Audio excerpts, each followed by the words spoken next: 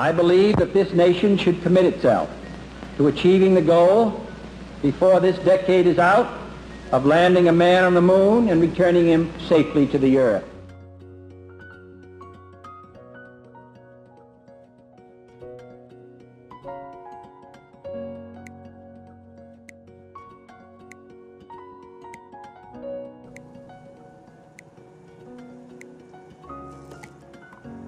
So here we have the Saturn V rocket that was cancelled due to budget cuts. So they've got it on display. I remember my father uh, building me a model of this particular style. Incredible. So this is an actual rocket. The only reason they've got it on display, of course, when the rockets go up, they leave most of it in space. And this one never got to go. So um, we have it here. Absolutely amazing. And you can see here, this is what's incredible. This is the separation that you see.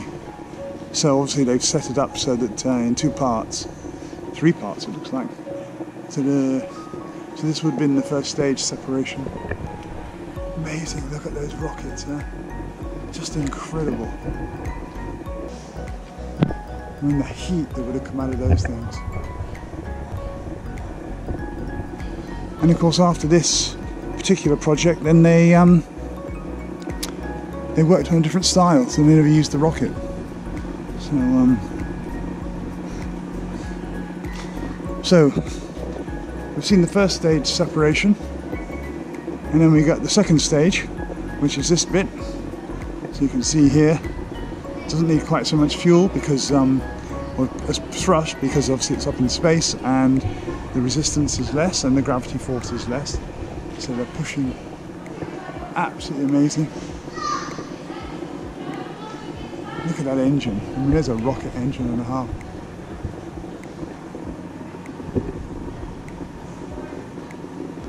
Really incredible.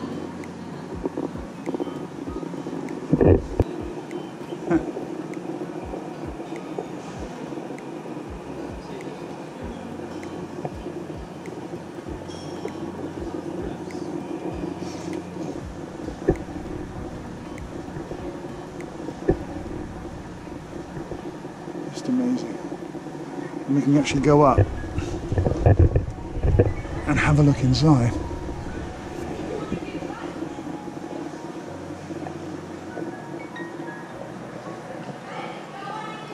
There you go.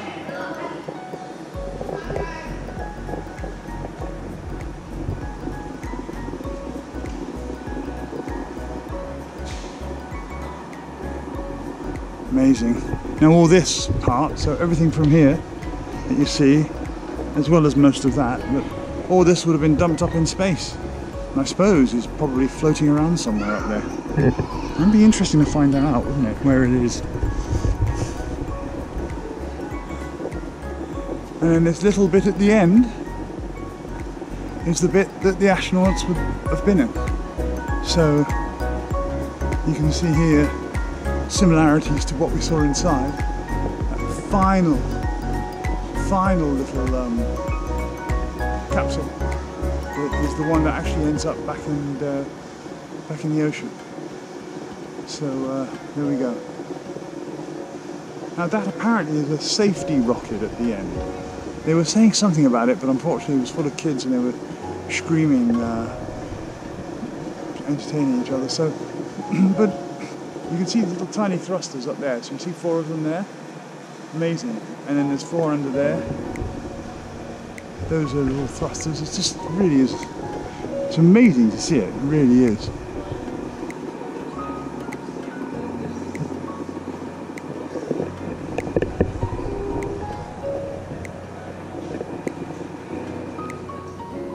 United States. Quite USS Enterprise, but you know, it's a start.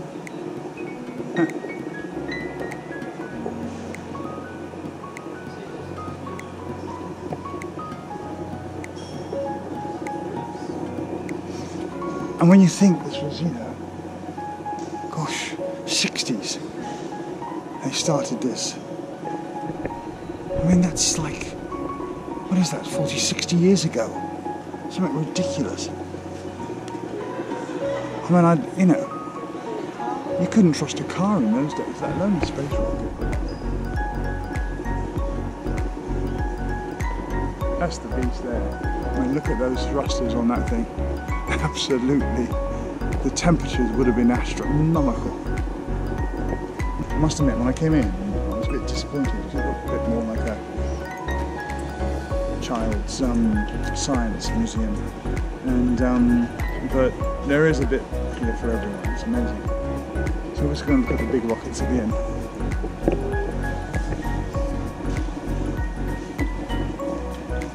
It's incredible. A rehearsal going on.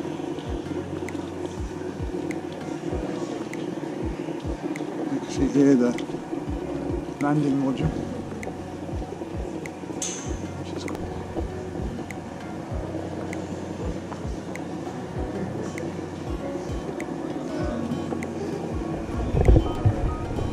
Incredible. I am quite uh, impressed actually. Who wouldn't be?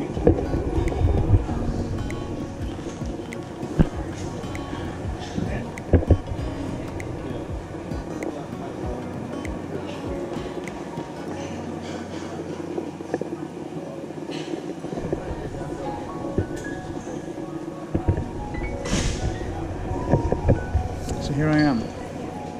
I wouldn't want to stand here when it was launching. Would last millisecond. Um, but uh, one way to get cremated, I suppose.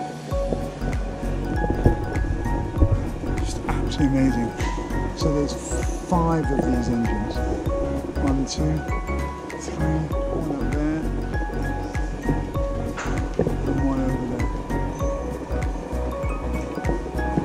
You can get an idea of the scale of them. There you go, that's me in front of uh, Saturn Really, im- I've seen models that I made when I was a kid, but this is really something else. Amazing.